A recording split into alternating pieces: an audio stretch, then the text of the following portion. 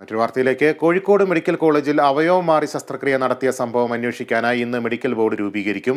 ചികിത്സാ പിഴവ് വരുത്തിയ ഡോക്ടറെ ഇന്ന് ചോദ്യം ചെയ്യാനാണ് അന്വേഷണ സംഘത്തിന്റെ തീരുമാനം. വിവരങ്ങളുമായി റിയാസ് കെ എം ആർ ചേരുന്നു. റിയാസ് എങ്ങനെ പുരോഗമിക്കുന്നു അന്വേഷണം? ലിബീഷ എന്തായാലും ഈ കോഴിക്കോട് മെഡിക്കൽ കോളേജിൽ അവയവം മാറി ശസ്ത്രക്രിയ നടത്തിയ സംഭവത്തിൽ പോലീസ് അന്വേഷണം വളരെ ഫലപ്രദമായാണ് മുന്നോട്ട് പോകുന്നത്. Medical college A C P K പ്രേമചന്ദ്രന്റെ നേതൃത്വത്തിലാണ് ഈ അന്വേഷണം നടക്കുന്നത്. കഴിഞ്ഞ ദിവസം ഈ പോലീസ് അന്വേഷണ സംഘം ഡോക്ടർമാരുടെ മൊഴി രേഖപ്പെടുത്തിയിരുന്നു.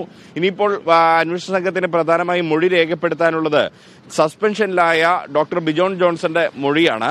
അസോസിയേറ്റ് പ്രൊഫസറായിട്ടുള്ള ബിജോ ജോൺസൺ.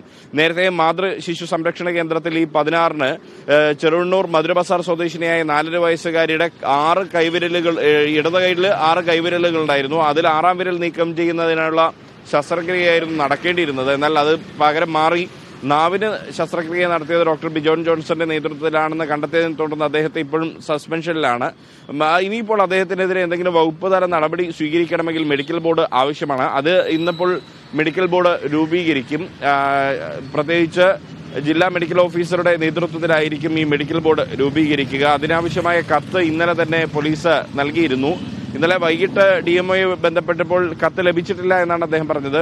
എങ്കിൽ കൂടിയും ഇന്ന് തന്നെ മെഡിക്കൽ ബോർഡ് രൂപീകരിക്കുമെന്നാണ് നമുക്ക് അറിയുന്നത്. പ്രത്യേകിച്ച് ആരോഗ്യ വകുപ്പ് മന്ത്രി ഉൾപ്പെടെ ഈ വിഷയത്തിൽ ഇടപെട്ട് ഒരു വിശദീകരണം തേടുകയും റിപ്പോർട്ട് തേടുകയും ഒക്കെ ചെയ്യുകയും ഡി എം ഇയെ മെഡിക്കൽ വിദ്യാഭ്യാസ ഡയറക്ടറെ ഇതിന്റെ അന്വേഷണം വകുപ്പാല അന്വേഷണത്തിന്റെ ഒരു ചുമതല ഏൽപ്പിക്കുകയും ചെയ്തിരുന്നു.